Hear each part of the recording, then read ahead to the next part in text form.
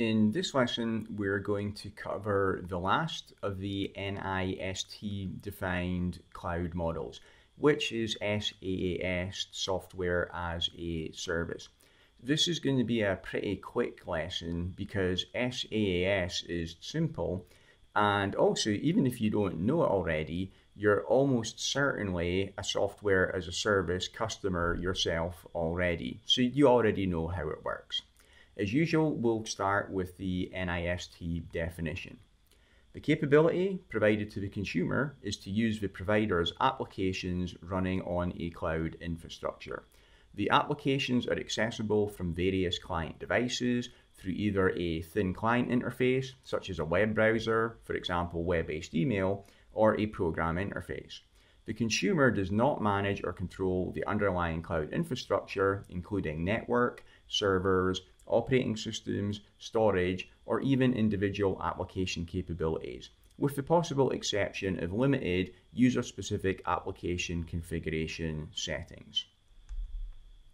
So looking at our data center stack, this is the opposite of the on-premises solution. With software as a service, it's the provider that manages everything, the entire stack, all the way from the physical facility up to the data you as the customer will get in at the application level. So you'll be able to work with the application, you'll be able to create data as well, but it's the provider that manages everything. Some examples of software as a service are Microsoft Office 365, Salesforce.com, Intuit, who make financial applications, Adobe Creative Cloud, and Gmail yeah, our normal cloud-based email services like Hotmail and Gmail, they were actually available before the term cloud was even coined. So we don't normally think of them as cloud-based software as a service, but that's actually exactly what they are. The provider is providing an application to you, the customer, and they're providing and managing the entire data center stack. So basically any kind of cloud software that you use is software as a service. For the billing with SaaS, it will typically have a monthly fee per user. And there may be multiple pricing tiers offered based on the usage as well. Let's have a look at an example of some SaaS billing structure. We'll have a look at Microsoft Office 365. So I'm going to scroll down a little and you can see I'm here on the pricing page for Office 365 for business.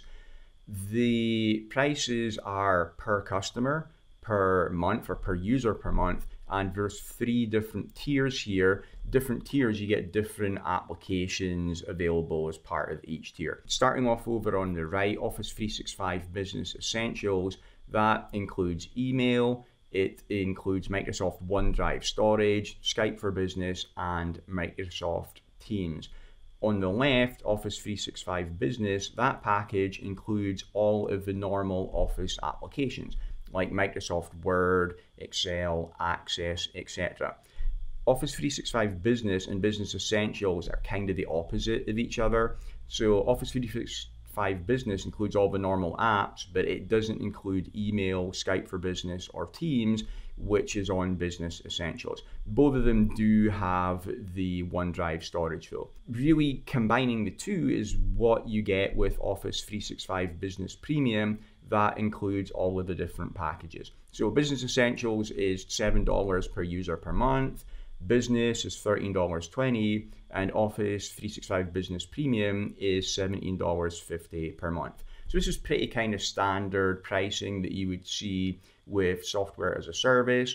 Often the provider will give you different tiers and at the higher prices you're going to be able to do more with that application. Quite often the least expensive one will actually be a, free package as well and it's usually based on per user and it's going to be billed per month.